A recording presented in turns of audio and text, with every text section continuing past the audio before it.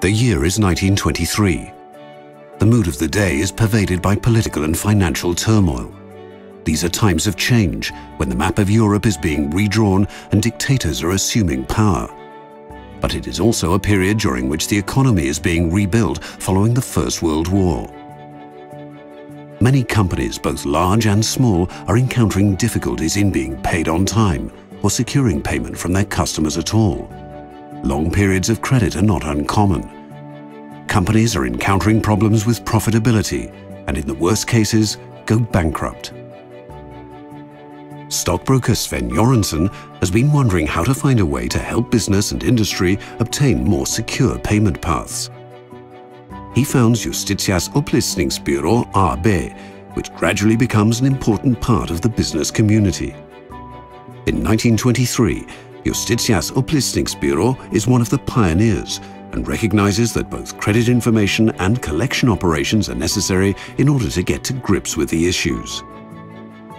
Justitia takes a practical approach and establishes a network of officers covering large parts of Sweden who are able to answer questions regarding creditworthiness. In 1937, Sven Göransson sells the entire operation to his largest competitor, Soliditet, and starts a new company with a new strategy, focusing on specialized collection operations. The new company is named Justitias Inkasso och Juridiska Byrå AB. Following the end of World War II, there is strong growth in both the economy and society. In the 1950s and 60s in particular, there is a strong upswing in buying on credit, and Swedish business and industry grows increasingly strong. Juridiska Byrå AB becomes Sweden's dominant collection agency. At this time, Sven Göransson's son, Bo Göransson, takes over the helm building a group of companies and expanding the business by acquiring other companies. The expansion in Europe continues in the 1980s through acquisitions and new startups.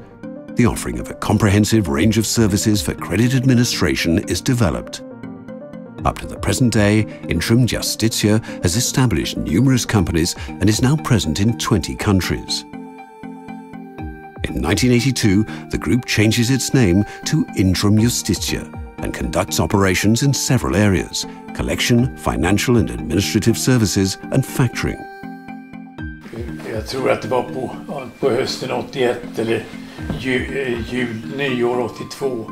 Då läste jag en julbok om någon, någon deckare och där var ett obskyrt bolag eh, handlade den boken om i, som bland annat eh, opererade i, i, eh, i New York.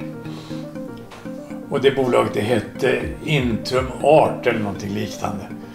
Så jag, jag fäste mig vid namnet Intrum då. Och, eh, och det, blev, det blev Intrum Justitia på det sättet. In the early 1990s, awareness of Intrum Justitia is far too low among companies and the general public throughout Europe, while the collections sector suffers from a poor reputation in certain parts of the continent. To strengthen the brand and change opinion, we take on a number of projects. We participate in the Whitbread Project, one of the world's most famous sporting events. The project generates considerable media attention before, during and after the actual race. The ocean yacht Intrum Justitia crosses the finish line in second place and generates great commercial success. We work with opinion making by being active lobbyists in Brussels, increasing awareness of good credit management and warning of the risks of high indebtedness. We also work to increase consumers' skills in private finance, for example through the Swiss School Award, Students, Debt and Money. Consumer organizations, the media, politicians, teachers and celebrities help young people understand the importance of spending responsibly. In the years leading up to the second decade of the new millennium, we at Intrum start to proudly use the expression, we are a catalyst for a sound economy.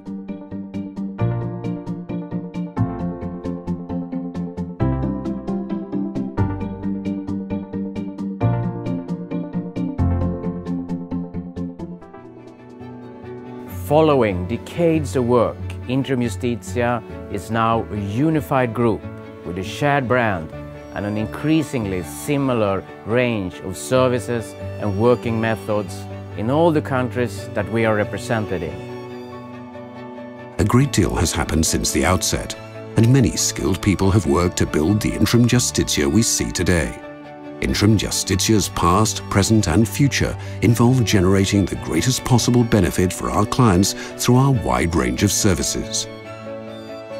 In 2012, companies in Europe lacked payments of 350 billion euro for products and services that they sold. And this is a rising trend. Therefore, our mission is important. And we continue to work for companies in Europe to be able to reduce their credit risk and secure a more stable cash flow. After 90 years, Intrum Justitia is the market-leading credit management company in Europe. If we continue to develop to meet our clients' continuously changing needs, it's likely that we will continue to be so in the future.